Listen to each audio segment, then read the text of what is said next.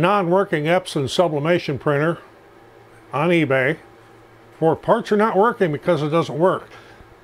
And we're going to attempt to fix this, but first I want to show you what happens when you ship a printer that has ink in it, even though you have the box marked this side up and everything else, it ends up standing on end and you end up with ink everywhere. And I have not taken this out of the plastic bag and I'm really glad they did put this in plastic because I have one heck of a mess here to clean up before we can even get going on this. But we're going to get into it coming up.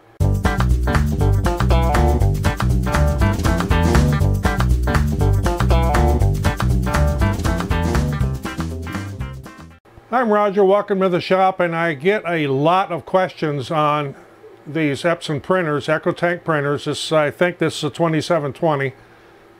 That, and I pick these up all the time uh, when for parts are not working when they're cheap enough because most of the time I can fix them. However, put the disclaimer right up front, I'm not affiliated with Epson. I do not have Epson parts. I'm not an Epson technician. I am not a printer expert. I just kind of know how to work on these and how to fix them and how to get them fixed up. This was, according to the uh, description, converted to sublimation ink and now it doesn't print anymore. I don't know why. I'll have to get into that. But right now, as you can see, I've got a huge mess to clean up. I'm going to have to get this out of the plastic with the rubber gloves on and the apron and try to get all this ink cleaned up and we'll see how bad it's spilled inside the printer as well. Because this one might really be a challenge. I won't show all the cleanup, but it's going to be a mess. Okay, I got out of the bag and there is, I mean, there's just ink on absolutely everything here. I have no idea how many paper towels and Gojo pads this is going to take to get cleaned up. And I've got it sitting on an old piece of cardboard. But I mean, it, I mean, even the cord is coated with ink. So this is, this is quite the mess. If you would happen to get ink all over the outside of your printer, uh, Gojo pads work very well, hand cleaning pads. I'm just trying to get the bulk of some of this ink off of here first. Yeah, this one's going to be fun to clean up. Okay, I got this mostly cleaned up, but now the subject matter of this video is going to change. Uh, the reason being, I plugged it in, of course it, it didn't come on, so I started doing some troubleshooting, make sure I got power through the power supply, and Got a meter here that the power supply was outputting to the main board. And once it gets to the main board, it does nothing. So we have a bad main board in this one. So therefore, I'm going to give you a tour inside one of these printers, show you a few things that could give you error codes, and show you some things not to do. Okay, I, I do have this side of the printer taken off because I needed to get into the power supply and stuff here. And there's the side right there, it's still filthy, dirty, nasty, but power plugs in right there. I need to get the power supply out, so that's why that's off. So, let's say you decide you want to open your printer up. There's a couple of screws you need to take out, and whoever had this before had already taken them out, but I'm going to show you where they are. One of those screws is located right here. It'll be a Phillips screw, and there'll be another one underneath the cover here on the opposite corner. Don't just start yanking the top up because you're going to break them. I've, I've worked on these before where people have broken them. So there's number one. Number two item. When you do open it up, I still got ink in there all over. When you do open it up, if you open this too far, the scanner cover can actually come off. And by moving it a little bit to the left, it will come off. But by the same token, when that happens, if you unplug these little ribbon cables down here, you're going to have a hard time getting them back on. It's not impossible, it's just difficult. So if you want to have it open to do some work on it, or maybe look around, get yourself a little prop stick.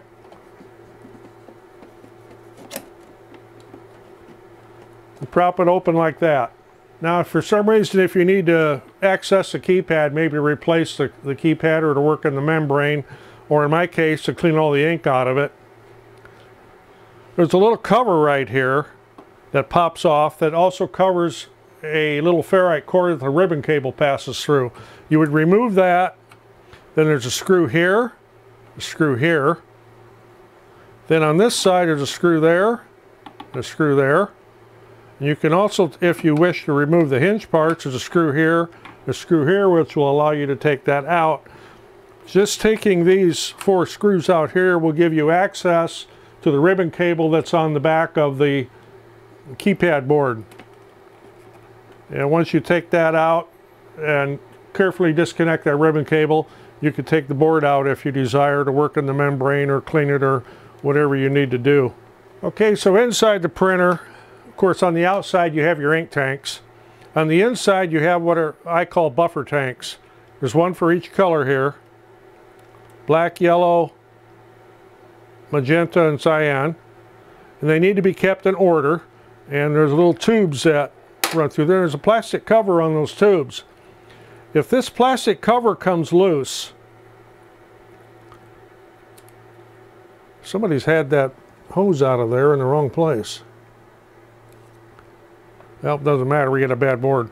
So, if this comes loose from here, it'll get up in here and, and this will all come loose and this will start making a bunch of racket and you could very easily get an error code and then you won't know what that error code is but it's going to have to do with this plastic coming loose and I worked on one printer and that was actually the only thing wrong with it was this cover had come loose and it got kind of caught up in the mechanism back here and it generated an error code.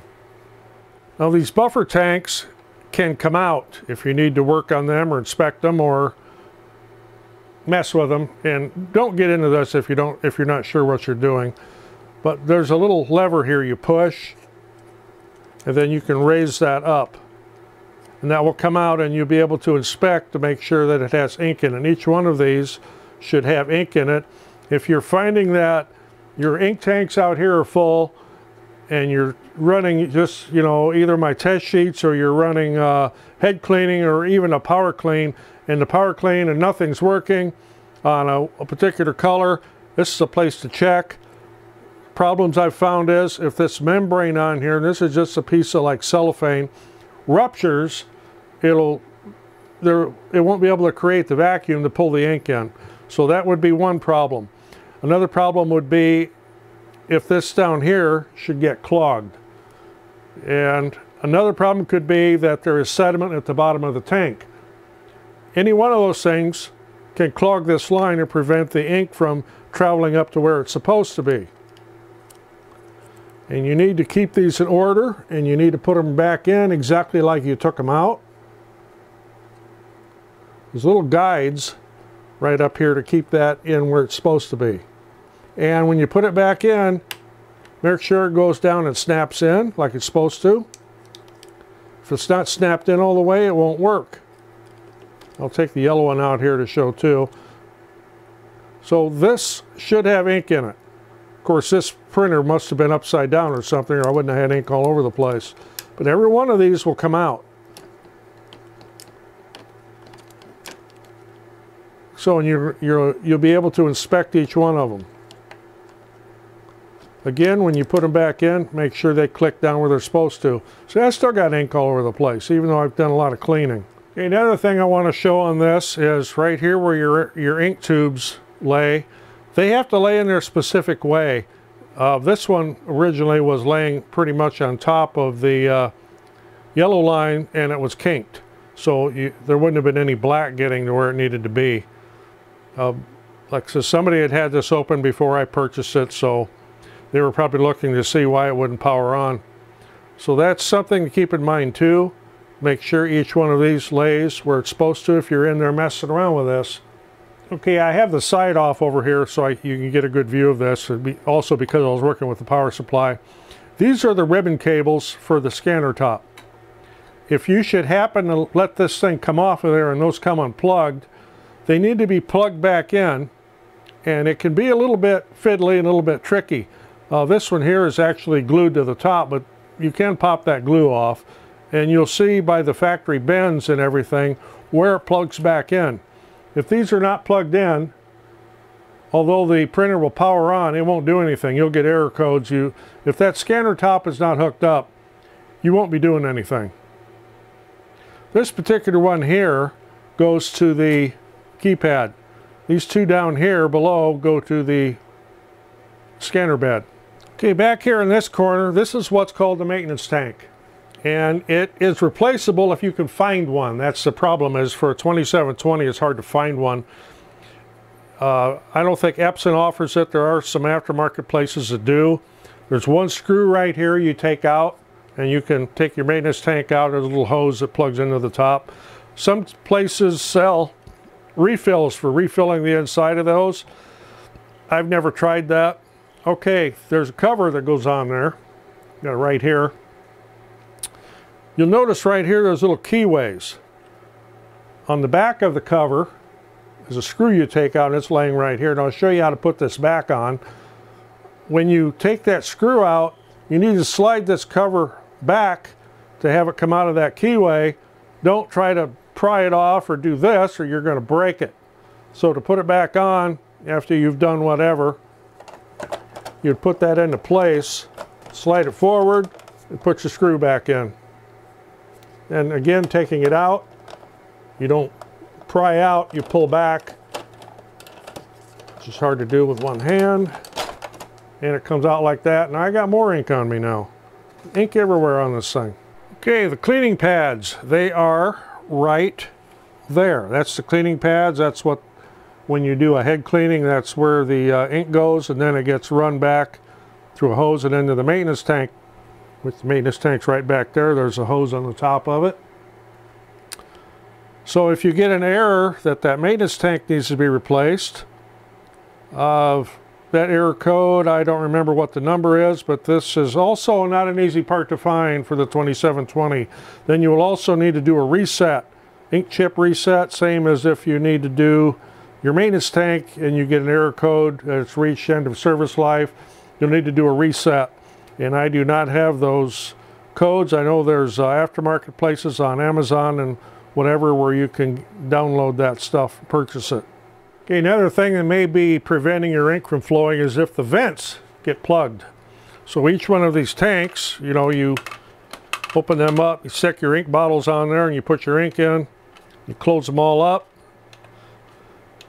There's a little vent on the top of each one of these and if that gets plugged up, it will create a vacuum inside and will not allow the ink to flow. So that's another thing that could possibly happen if you're having a problem. And this one here is real easy to see the vent on because this is the one that leaked black ink all over the inside of that box. In fact, that tank is almost empty. Okay, the side cover here. There are little tabs. That one up there is gone for some reason. These need to fit into holes in the base. And when you're taking this off, don't just go like this because you'll break them.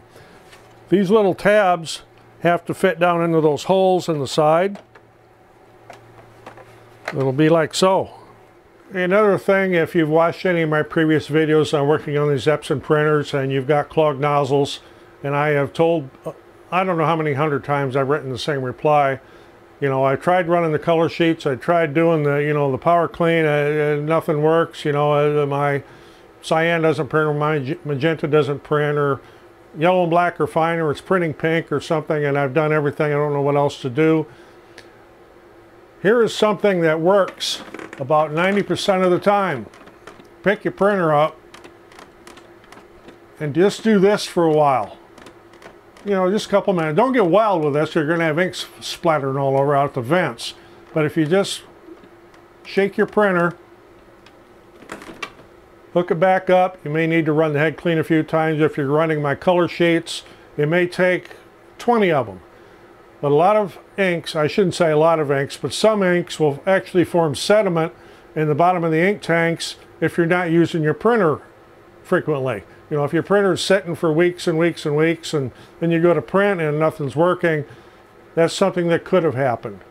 Now, if some of that sediment actually got up into the line or forgot up into the buffer tank, then that's a whole other thing of cleaning and you're going to have to do a lot of work. One of the things you can do is to carefully disconnect the hose from the buffer tank and get a syringe from like the drugstore. No, you don't need, need any needles, just a syringe, and try to blow air back through to your ink tank and then try to pull ink back through that tube and then make sure your buffer tank is in a good shape and the cellophane isn't ruptured or anything and that it's seated properly. There's a whole lot of different things that can happen to cause your what everybody thinks is their head is clogged up. And it's not the head it's the actual lines going to either the buffer tank or the buffer tank isn't seated properly or there's a vent plugged up or you have some sediment in there. So there's some things that you can look for on one of these printers. I had hoped to show a little bit more with this one but it has a bad uh, motherboard, main board, and I do not have one to replace it with. So I'll be saving this for parts for other printers that I work on. Again, I'm not affiliated with Epson. I am not an Epson technician or anything like that. I just have worked on a lot of these and I have quite a bit of experience with it. I hope that gave you some ideas. I hope I showed you how to open your printer and work on it without breaking stuff because I've uh, purchased others of these that, you know, it doesn't work anymore and I'm going to hear $20 you can have it. And they've broken parts because they didn't know how to take it apart or open it up properly. So if you got anything out of this, appreciate getting a thumbs up. And I got to wash my hands again. Incidentally, that stuff works great for getting ink off of your hands and printers because I used two sheets of this to clean this up. And you saw how bad it was. So, Roger in the shop. Thanks for watching. We'll see you on the next one.